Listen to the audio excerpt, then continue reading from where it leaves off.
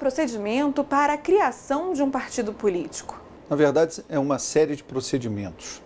O primeiro deles é uma reunião de pessoas que desejam fundar uma agremiação política. Ela primeiro é, é instituída como uma associação civil, porque tão logo ocorre essa, essa, essa reunião e esse estatuto é aprovado e o programa do partido é aprovado, eles são levados a um cartório de registro civil e o partido ali é registrado como uma, socia uma sociedade civil, como uma associação civil, sem fins lucrativos, naturalmente, com interesses políticos. Depois disso é que se começa todo, todo aquele, aquele. começam todos aqueles procedimentos exatamente de constituição do partido.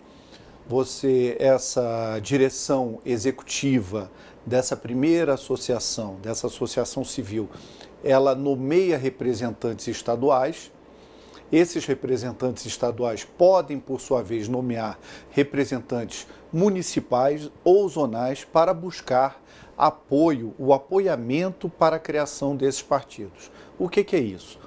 Os eleitores são chamados a assinar uma lista, fornecer o, seu número, o número do título de eleitor para dar apoio ao surgimento de uma nova agremiação política.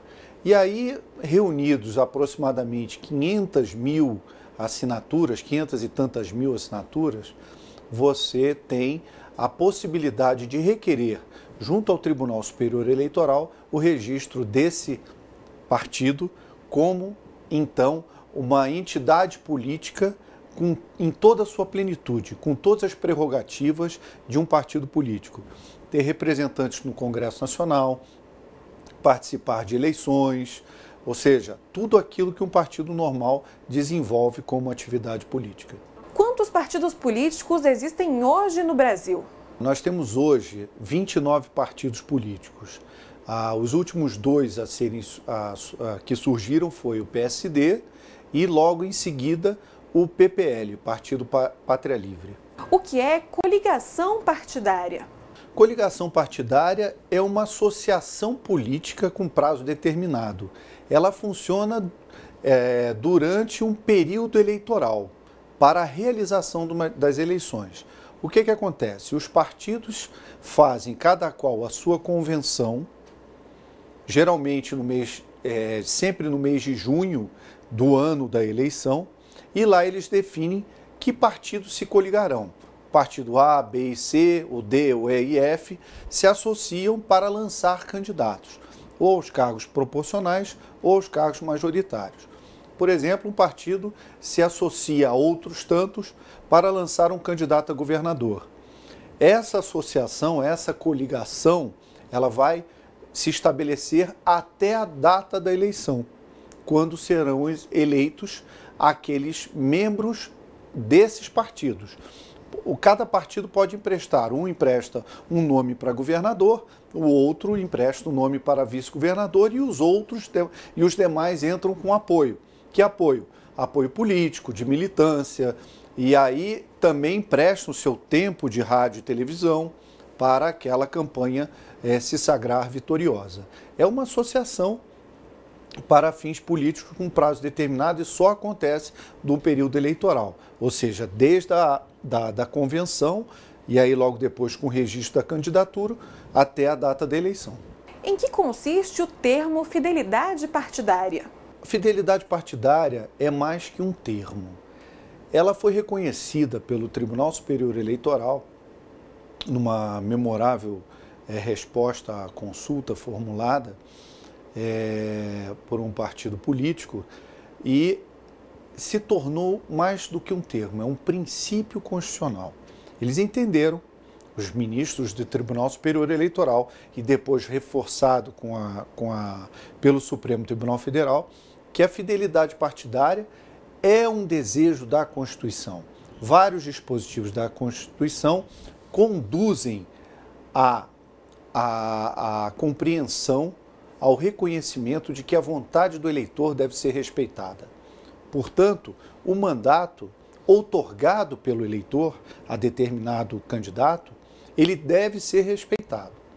Ele deve ser respeitado a ponto de você não poder, sem justificativa, plausível sair de um partido para outra legenda. Porque isso não tem, o, o político não tem a outorga do eleitor para migrar para outro partido sem uma justa causa.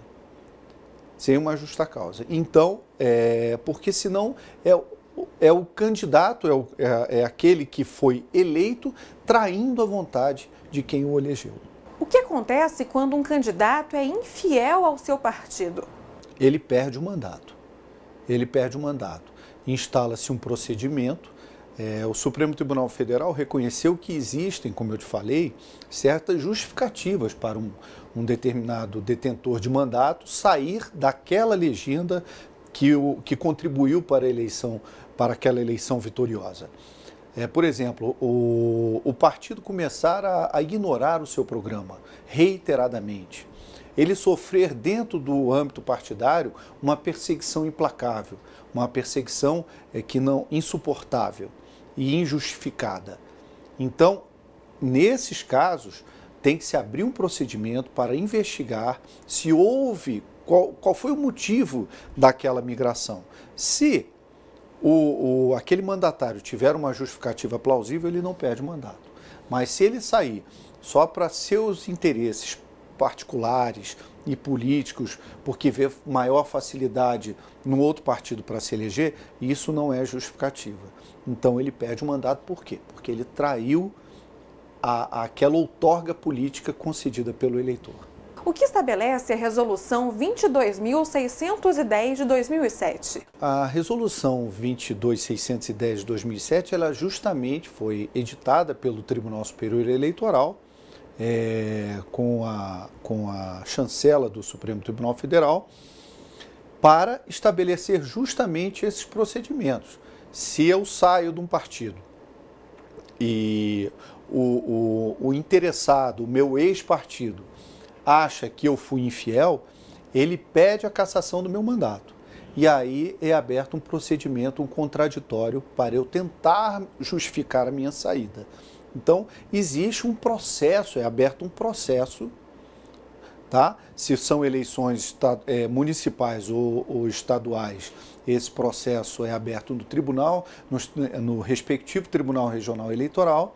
E se é um mandato federal, como no caso deputado federal, senador, presidente da República, ele, esse processo tem seu andamento no Tribunal Superior Eleitoral.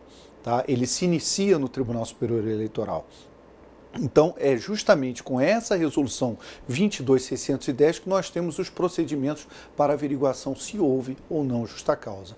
É para se estabelecer o contraditório, para que se dê oportunidade daquele que está em vias de perder o mandato por, por infidelidade tentar se explicar o porquê que saiu do partido, ou se foi ou não infiel ao, ao, ao, a essa outorga política do eleitor.